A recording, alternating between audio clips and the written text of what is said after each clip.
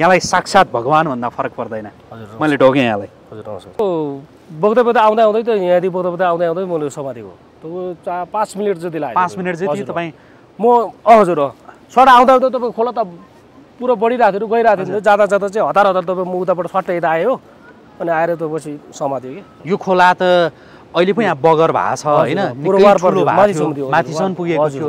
हजुर। त्यति बेला तपाईँमा त्यो लुगा लगाएको लगाई तपाईँलाई त्यो हाम फाल्ने आँट चाहिँ तपाईँलाई कसरी आयो? तपाईँलाई। म पनि सकिन्छु भन्ने त्यो सोच्नु भएन पक्कै पनि होइन? त्यति बेलाको त्यो क्षण सोचिदिनुहोस् न। तपाईँको मनमा तपाईँको दिमागमा त्यति बेला के आयो? दर्शकवृन्द नमस्कार। म रोहित भण्डारी। यति बेला म ललितपुरको नखुटोलमा छु। यहाँहरूले जो मेरो ब्याकग्राउन्डमा यति बेला देखिरहनु भएको छ यो त्यही ठाउँ हो जुन ठाउँबाट हिजो मात्रै चणिकलाल तामाङले दुईजना बच्चाहरूको उद्धार गर्नुभएको थियो। ती बच्चाहरू जो यही कतै एउटा जुन टहरो थियो जस्ताको त्यो टहरा माथिबाट ती बच्चाहरूसहित अन्यले उद्धारको हार गुहार गरिरहेका थिए। तर एकजना यस्ता साहसी व्यक्ति यो टोलमा निस्किनु भयो जसले उहाँहरूलाई बगाउँदै बगाउँदै बगाउँदै यो ठाउँमा ल्याइसकेपछि उहाँले आफ्नो ज्यानको कुनै पर्वाह गर्नु भएन र झ्वाममा त्यो खोलामा हाम फाल्नुभयो र ती बच्चाहरूको उद्धार गर्नुभयो। एक हिसाबले भन्ने हो भने साक्षात् भगवान्भन्दा फरक पर्दैन चणिकलाल तामाङलाई। म अबको क्रममा उहाँसँगै कुराकानी गर्दैछु र त्यही ठाउँमा उभिएर कुराकानी गर्दैछु कि जुन ठाउँमा उहाँले उद्धार गर्नुभएको थियो। चणिक सर हजुर सर यहाँलाई साक्षात् भगवान्भन्दा फरक पर्दैन। हजुर मैले ढोकेँ यहाँलाई। हजुर नमस्कार। हजुर। कति आँटिलो कति साहसिलो यो आँट यो साहसका लागि फेरि पनि यहाँलाई नमन गरेँ। तपाईँसँग यो कुरा गरिरहँदा म एकदमै भावुक भएको छु यति बेला। हजुर हजुर। कति मान्छे तपाईँको त्यो साहस देखेर खुसीले कतिले आँसु झार्नुभयो तपाईँको त्यो साहस कसरी पैदा भयो? मैले त्यहाँबाट कुराकानी सुरु गरेँ।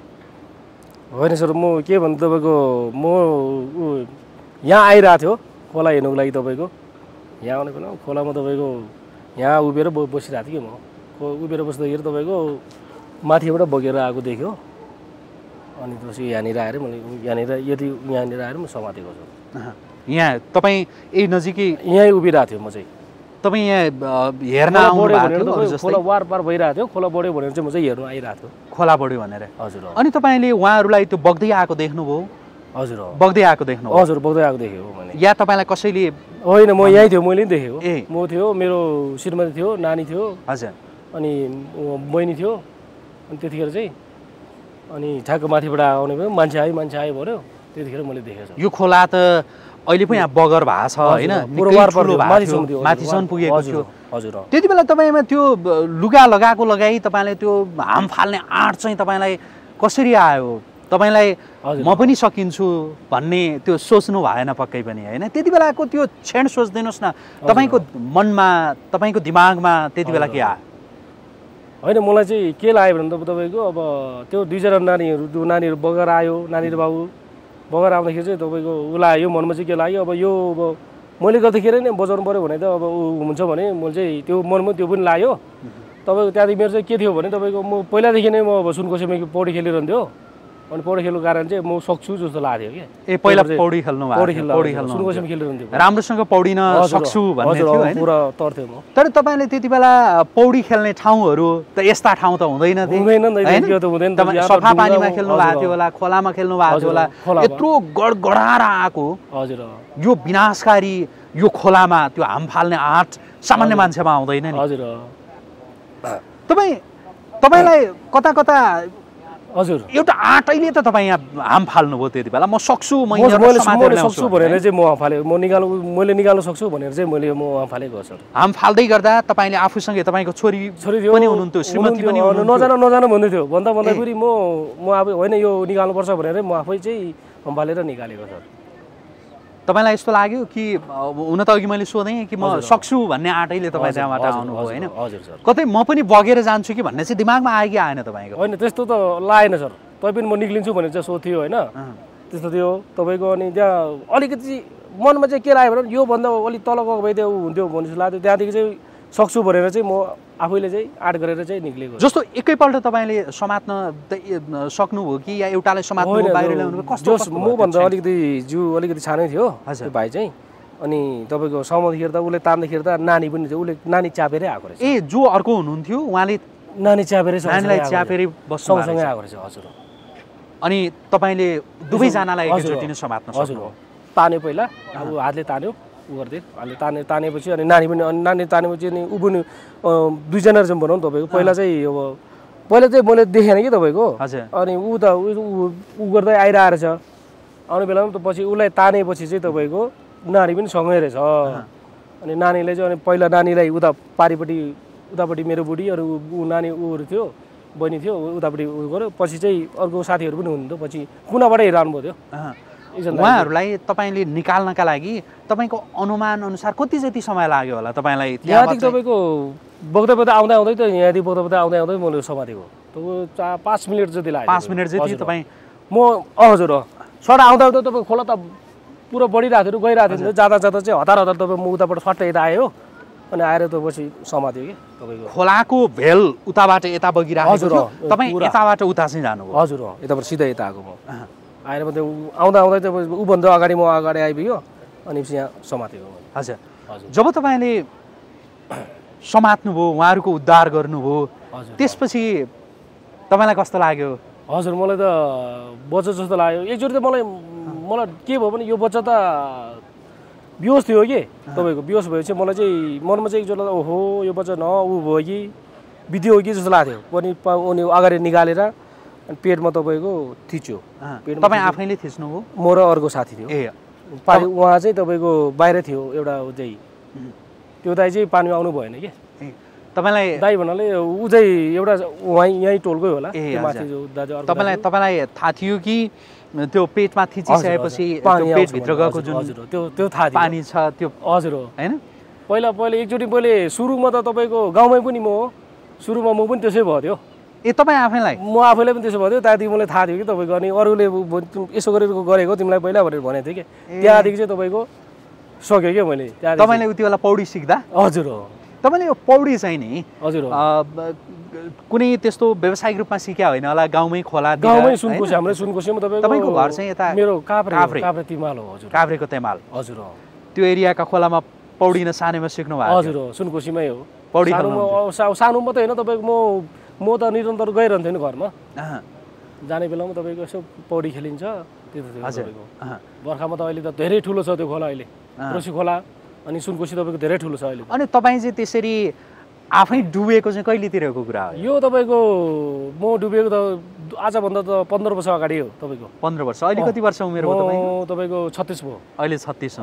पन्ध्र वर्ष अगाडितिर।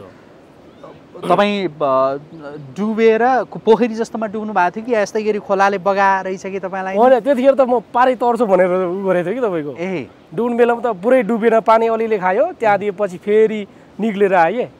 अर्को साथीले मलाई तानिदियो होइन अँ। टुप्पीमा तानेको थियो कि तर तानेपछि अनि त्यहाँदेखि ऊ आफै निक्ल्यो माथि निक्लेपछि चाहिँ ऊ भयो क्या। पौडी खेल्ने त्यो त्यतिखेरदेखि सिकेको। पहिलादेखि नै पौडी त तपाईँको। तपाईँले जब यहाँ उद्धार गर्नुभयो उद्धार गरिसकेपछि त तपाईँलाई धेरैले जसले भेट्न पाउनु भएको छैन हजुर। भेट्न नपाएकाहरूले सामाजिक सञ्जालका माध्यमबाट या अरू कुनै माध्यमबाट तपाईँलाई कोटी कोटी प्रणाम गरिरहनु भएको छ। हजुर हजुर हजुर सर यति बेला तपाईँको अनुभूति कस्तो छ? तपाईँ अब जस्तो केही मिडियामा पनि तपाईँले अन्तर्वार्ता दिनुभयो तपाईँका विषयमा पत्र पत्रिकाहरूमा पनि आइरहेका छन् हजुर हजुर। कस्तो अनुभूति भइरहेको छ यति बेला? म त सर त्यस्तो त ऊ हुन्छ भनेर मलाई त त्यस्तो थाहा नै थिएन सर।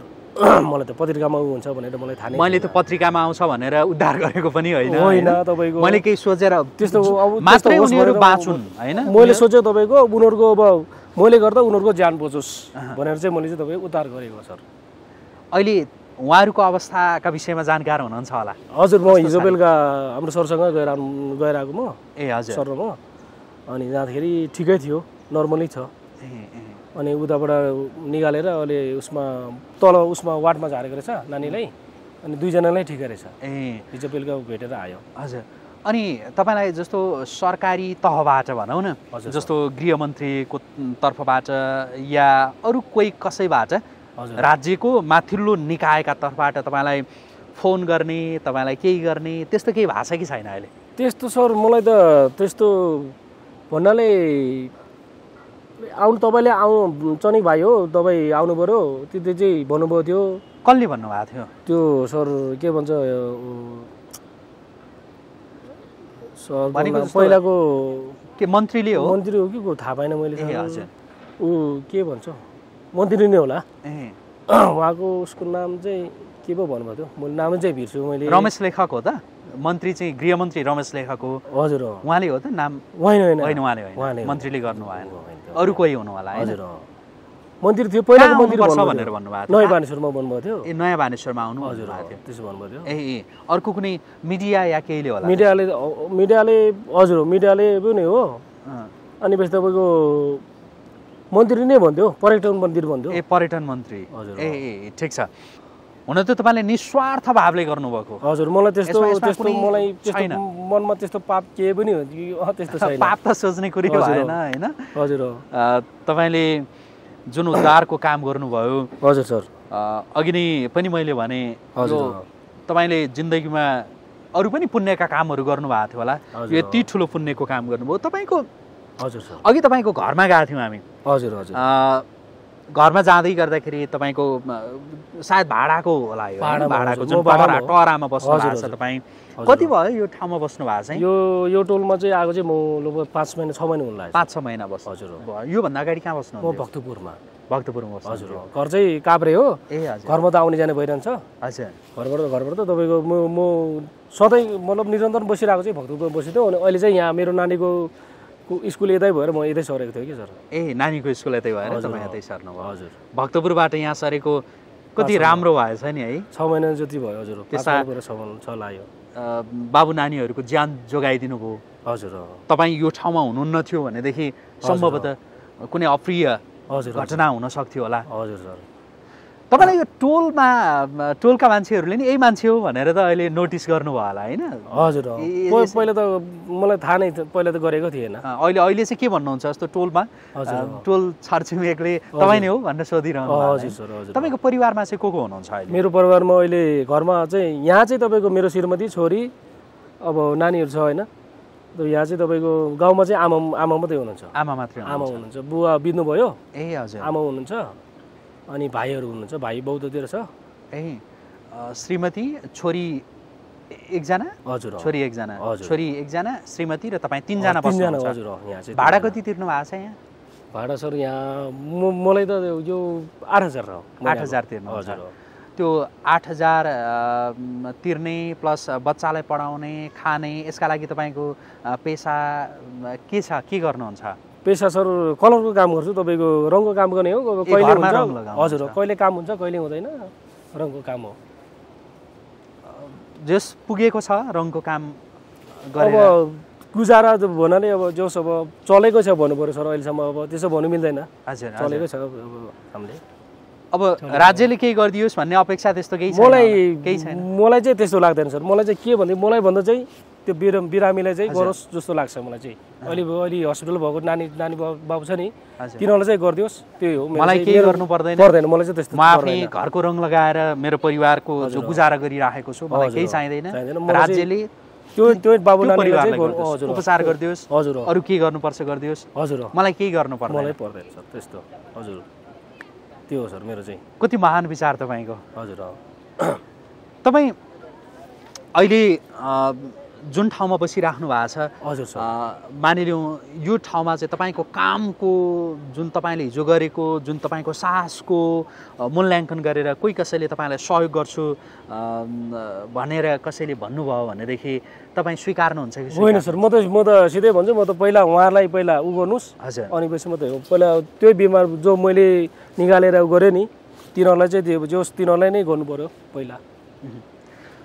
अब अलिकति तपाईँको उति बेलाको पौडी खेल्दातिर है। हजुर तपाईँ त्यति बेला पौडी खेल्दा तपाईँलाई घरतिरबाट या हुन्छ नि टोल छ हजुर, हजुर, हजुर। यो खोलामा गइरहन्छ कतिमा खोला कति खोलामा पहिला त हजुर हो। पहिला त आमाहरूले त्यसो भन्नुहुन्थ्यो होइन खोलामा गएको खालि खोला मात्रै त्यतिखेर त खालि खोलामा जान्थ्यो कि अहिले तपाईँको।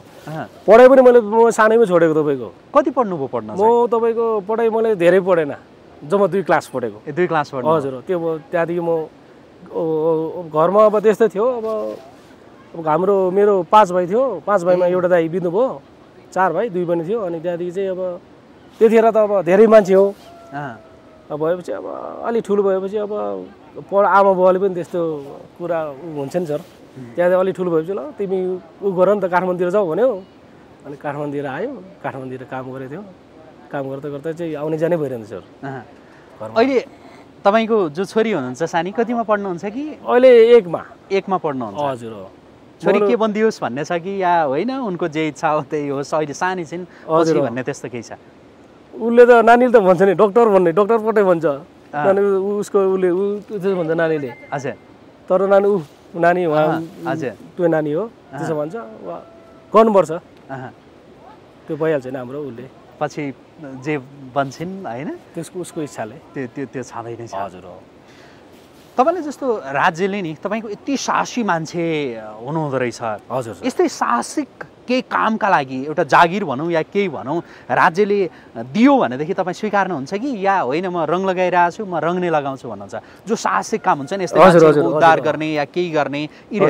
कामहरू राज्यले राज्यले ल तपाईँलाई तपाईँ। यति साहसिक व्यक्ति हुँदो हुनुहुँदो रहेछ तपाईँले यस्तै मान्छेहरूको उद्धार या कहीँ यस्तै एकदम जोखिमयुक्त। कामहरू तपाईँका। लागि भनेर राज्यले भन्यो भने गर्नुहुन्छ कि गर्नुहुन्न स्वीकार त्यो तपाईँको त्यो होइन त्यो गर्छु नगर्ने होइन गर्छु त्यो पनि तपाईँको राज्यले तपाईँको अब भन्यो ल भन्यो भने गर्ने हो तपाईँको नभन्यो भने त हामी हामी सर्वसाधारण हो होइन अनि त्यो हिसाबले नै हुन्छ। हुन्छ तपाईँसँग सबैभन्दा पहिला त मलाई तपाईँसँग भेटेर तपाईँलाई व्यक्तिगत रूपमा एकजना पत्रकारका रूपमा भन्दा पनि हजुर। एकजना मानव पहिला त हामी मान्छे आउने मान्छेका। रूपमा हजुर सर। तपाईँको तपाईँलाई एकदम नजिकबाट स्पर्श गर्न मन थियो। हजुर तपाईँलाई ढोग्न मन थियो। हजुर असाध्यै खुसी लाग्यो। तपाईँले जे गर्नुभयो हामीलाई आज समय पनि दिनुभयो। आज चाहिँ तपाईँको रङ लाउने काममा जानुपर्ने छ कि छैन? आज सर म अलि भर्खरै म ठेकदारलाई सोधेको अब काम त्यति छैन। यो पानी यो बाढीले गर्दाखेरि तपाईँको अलि डिस्टर्ब भइरहेछ भन्नुभयो त्यही भएर आज म गएन। तपाईँले हिजो पनि यही लुगामै हाम फाल्नु भयो जस्तो लाग्छ। हजुर यो। मेरो यो ज्याकेट थियो मेरो हजुर। यो टी सर्ट पनि यही नै हो। ज्याकेट थियो, यही नै। लाउनु हजुर। अरू नभएर त होइन होला कि? या नभएरै यही ज्याकेट लगाउनु होइन त्यो पानी परिरहेको थियो। ए होइन मैले आज आज सोधेको। आज तपाईँ म कुराकानी गरिरहेको बेला। तपाईँले यो ज्याकेट लाउनु भएको छ नि। होइन होइन तपाईँको यो किनकि तपाईँको पानी परिरहेको थियो नि त। पानी पऱ्यो भनेर चाहिँ मैले त्यो उ गरेको थियो लगाउनु भनेर उ गरेको ए थियो हिजो हिजो। हजुर आज आज चाहिँ तपाईँले यही ज्याकेटै रोज्नु भयो नि। होइन यो मेरो तपाईँको अर्को नभएर या होइन यो चाहिँ मेरो तपाईँको यो उसमा पानीमा बाहिर निक् म पनि बाहिर निक्लिनु आएको थियो। ए ए हजुर त्यो। कारण चाहिँ अब यो लगाएर हिँड्छु बाहिर निक्लिनु चाहिँ तपाईँको। यो एउटा पहिचान पनि हो अब तपाईँको प्रयोजन मात्रै हो भने कि तपाईँको पानी पर्ने बेलामा चाहिँ हामीलाई सेपको लागि चाहिँ हो। हजुर। हजुर हो। हुन्छ तपाईँलाई धेरै धेरै धन्यवाद। हामीसँग कुरा गर्नुभयो हजुर। तपाईँलाई धेरै धन्यवाद। नमस्कार फेरि पनि यहाँलाई मैले प्रणाम गरेँ। हजुर है सर हस् हजुर